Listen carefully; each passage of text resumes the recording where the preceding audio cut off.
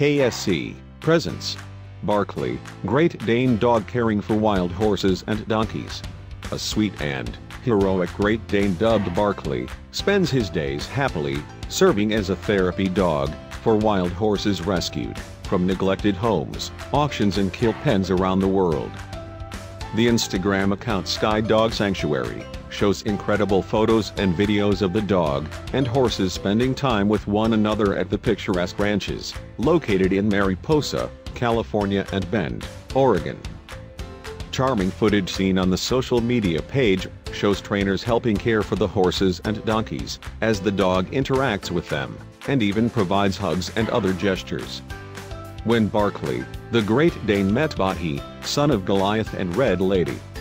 The love and respect between different animals is so inspiring and glorious. It's a joy to witness. The cutest souls in the world meeting for the first time. The happy horses are seen grazing and wandering freely around the open fields, alongside rescued friends. The patient and gentle ranch manager Barkley spends time with the wild mustangs and donkeys when he's not napping or playing with his human owners. Barkley keeping watch over rescued Mustang Rise as the sun goes down at Skydog Malibu. A top priority of Sky Dog Sanctuary on social media is to promote adoption for the wild horses through the Bureau of Land Management. Furthermore, the 501c3 nonprofit aims to reunite Mustang families and form new bonds between horses brought in.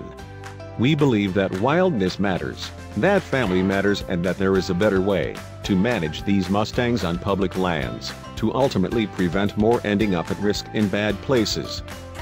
Our biggest, most important mission is to shine a spotlight on all these issues and make Mustangs a talking point across the U.S.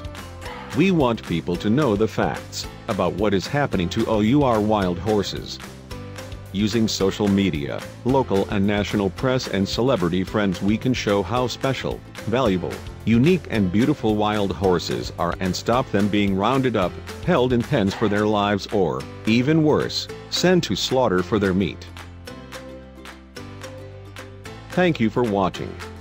And don't forget to subscribe.